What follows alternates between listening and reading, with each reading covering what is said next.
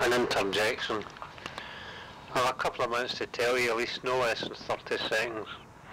It's the IMF running the show and the World Bank and ethics Mahina end. Who's on board? Who's up to stream? Have the Russians got a window of opportunity? Is it a level playing field in the Middle East? No, I never. You must be joking. Hey, is your telephone tapped? Oh no, you can't be thinking very much then, can you? When they're going to have to lay off the Texan arms factories? They'll have to bomb somebody else. Will they bomb Scotland? No, I know if Scotland's up to stream on board. Yes, the IMF, no IMF, three bags full IMF, he can't fool me.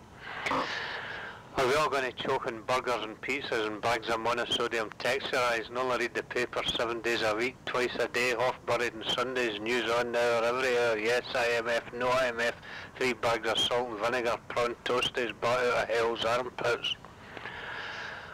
Only told you about the World Bank, bunch of gangsters and dirt tin flutes, come on the arms factories, suffer the little what's their names. Any good jokes, Paul? Good. Did you hear the one about no, that's a pity. Happy New Year. Who cares about the World Bank anyway? We just eat this stuff. Nothing wrong with that, is there? Time we were all restructured, far too many hospitals and teachers and nurses all with their horns out, not enough arms factories, me with my and my briefcase, no, no class war, load of rubbish, dinosaurs.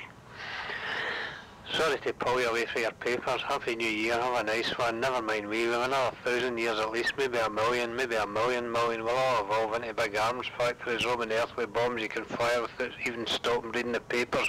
434, no, 4221, floating striker line off off the midfield, just reading the papers, half buried in Sundays, plate of ham and eggs and a nice wee bit of black pudding with the supplements. Nice one.